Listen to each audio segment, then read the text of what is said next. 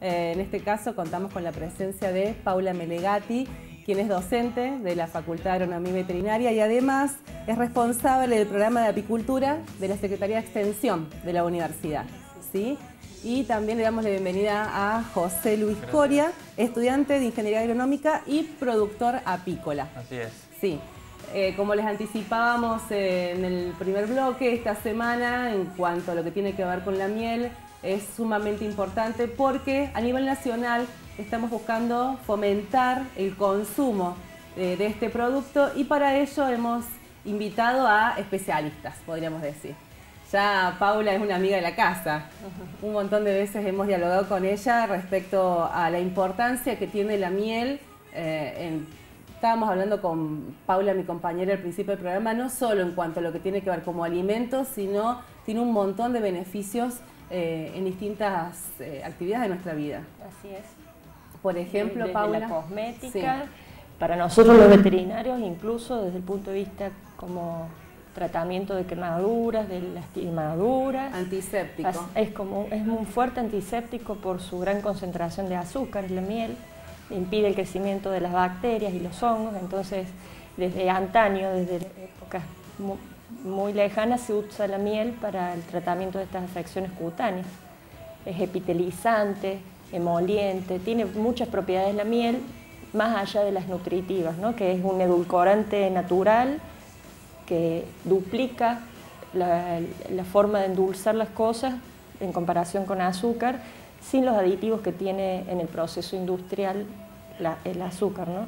La miel es un producto que, así como está en el panal, directamente llega al envase para el consumidor. No tiene procesos de industrialización más que la extracción y el fraccionado. ¿no? Natural. Eh, es natural. Eh, y es una secreción, es un conjunto entre las plantas y las abejas. Las plantas liban el néctar que están en las flores, las combinan con sustancias propias que tienen las abejitas y transforman esto en los panales, que es un elixir. Estamos viendo imágenes justamente de este trabajo de las abejas. Eh, la polinización es eh, también otra de las actividades que eh, propician las abejas, ¿no? Y que tan importante es para, nuestra cotidianidad y me animaría a decir para nuestra economía. Exactamente. Sí, generalmente la gente asocia la abeja con la miel, claro. pero el principal beneficio que obtenemos de la apicultura es la polinización. Lo que pasa recordanos este, para que la audiencia sepa de qué estamos hablando, de qué hablamos cuando hablamos de polinización, claro. La abeja cuando va visitando de flor en flor va tras eh, transportando en su cuerpito las gametas masculinas hasta la parte femenina de la flor, ya sea en la misma flor o en flores de distintos pies. ¿no? Esa, esa transferencia de las gametas masculinas es lo que favorece la formación de semillas y de frutos. Un, un, fruto que está mal polinizado, por ejemplo un zapallo, va a carecer de semillas en su interior o va a estar deformado o pequeño en su tamaño. Entonces la abeja lo que propicia es un aumento en la calidad del, del fruto, la semilla, y del número de semillas, en el caso de muchas variedades de plantas que tienen vainas, por ejemplo, aumenta el, número de semillas en la vaina. Eh, tengamos en cuenta que la abeja es el principal polinizador asociado de la mano del hombre y cómo el hombre lo, lo distribuyó por el mundo, pero existen muchísimos otros polinizadores a tener en cuenta y esa función que ejercen está directamente relacionada con la producción de alimentos, porque son pocas las cosas que comemos, como la papa, el arroz, el trigo o el maíz, que no requieren de polinización. El resto de lo que consumimos diariamente, nosotros e incluso los animales, el forraje para los animales, necesita de la acción polinizadora y la abeja es la por, excelencia. Tiene injerencia en esto, qué bárbaro. Exactamente. Bueno, con esta introducción respecto a la abeja, a su rol tan destacado en, este, nuestras vidas, contanos cómo surge esta idea de eh, fomentar el consumo de la miel, de que haya una semana, unos días específicos que a nivel nacional eh, le estemos recordando a la gente la importancia del consumo de la miel. Mira, este, esta fue como siempre una deuda pendiente que se tenía en el sector apícola porque el 95% de la producción del país se exporta, la mayoría de ello a granel sin ningún tipo de valor agregado a países como Estados Unidos o Alemania, y otros países europeos e incluso asiáticos.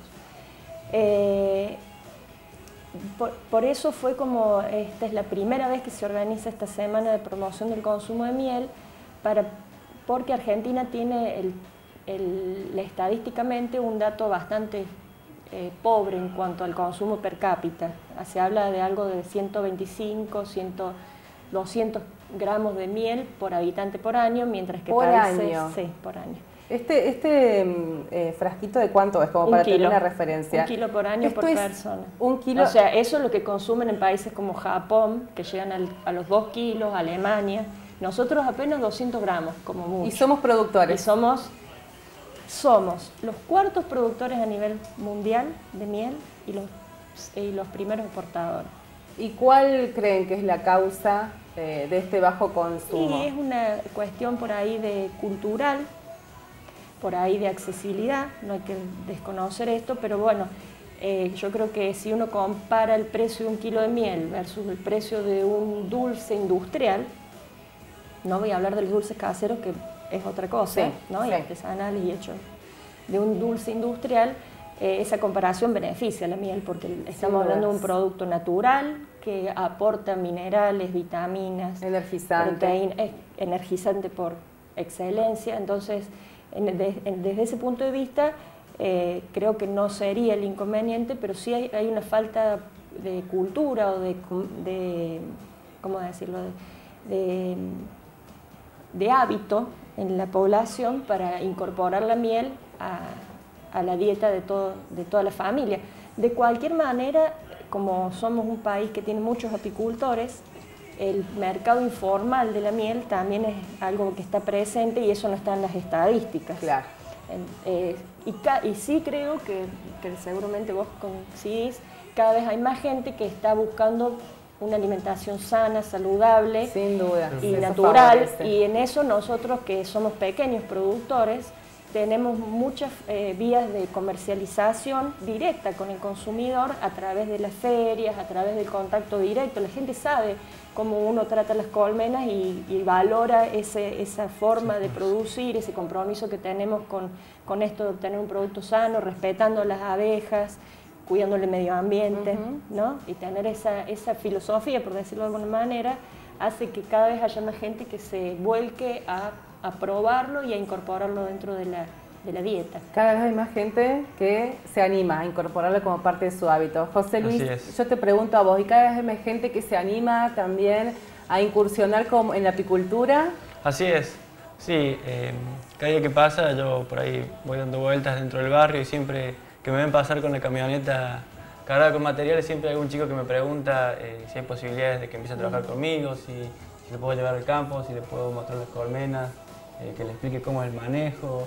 Eh, y sí, siempre, siempre estoy invitando gente nueva al campo, así que... Es augurioso sí, ¿Y cómo fue que vos iniciaste en la actividad? Bueno, yo arranqué hace... Este va a ser el quinto año ya que estamos trabajando. Empecé trabajando solo, yo hacía tareas de mantenimiento a otro apicultor más grande, eh, un apicultor de acá de Río Cuarto, que se llama Marcos Bocheto. Y después lo empecé a acompañar al campo, así, empezamos a revisar las colmenas, ahí me gustó y empecé a atrapar mis propios enjambres. Así que ya el segundo año ya tenía un par de enjambres eh, propios y los iba cuidando. Y ya después eh, compré unos núcleos, empecé a agrandarme eh, y empecé a, trabajar ya, digamos, más, más solo. Después de eso, somos un amigo, Hernán García, que en otro, otra parte, somos un grupo asociativo que se llama Apícola el Espinal. Está conformado por Hernán García, que es otro amigo, y mi novia. Entonces empezamos a trabajar ya con él, después se sumó mi novia y, bueno, ya hace, este va a ser el quinto año que estamos trabajando y estamos trabajando más o menos con 60 colmenas.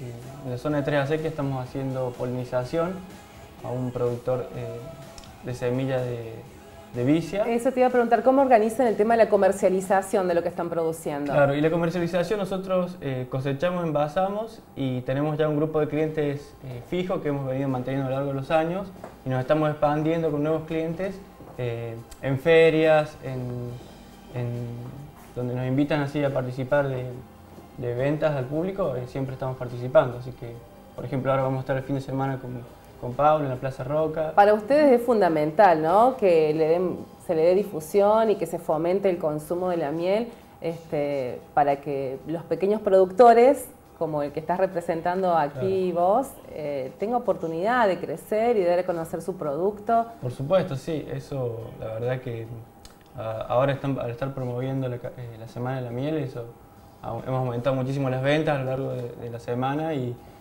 esperamos aumentarlo mucho más todavía. Así que me parece fundamental que de parte de de las políticas eh, se, se, les dé este apoyo a, los productores y, que eso motive a las economías regionales. Mencionabas que una de las actividades organizadas en el marco de esta Semana de Fomento del Consumo de la Miel es eh, una actividad que se va a desarrollar en la Plaza Roca. Así es. Cuéntenos de qué se trata.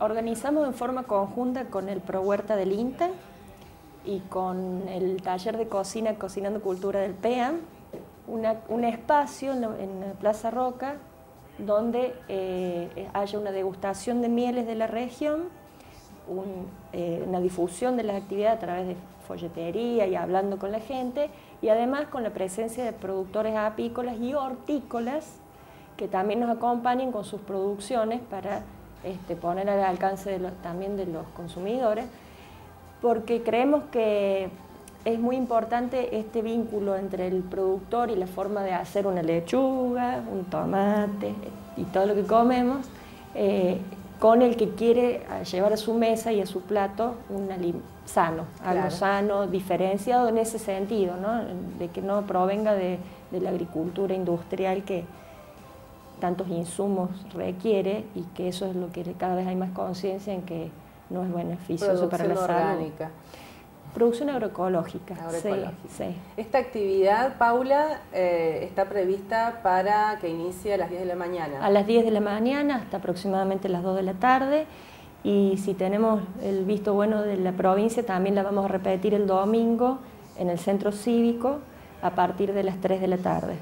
Bien, pero no es la única actividad que tiene mm. organizada por esta semana. Sí, tenemos organizados conjuntamente con la Subsecretaría de Desarrollo de la Municipalidad y, y, bueno, y la universidad participar de distintas instancias de charla y degustación de mieles en eh, instituciones eh, educativas. Vamos a ir a varios colegios, desde escuelas técnicas de nivel de jardines de 5 años, escuelas primarias, secundarias y también eh, centros comunitarios y escuelas de adultos a la noche, ¿no? que vamos también a estar visitando, hablando todo, sobre todo esto de la miel y el rol de la abeja como polinizador, su, vinculación con la biodiversidad y los ecosistemas, que también es muy importante ¿no? para restaurar eh, el medio ambiente que está tan degradado en el sur de Córdoba.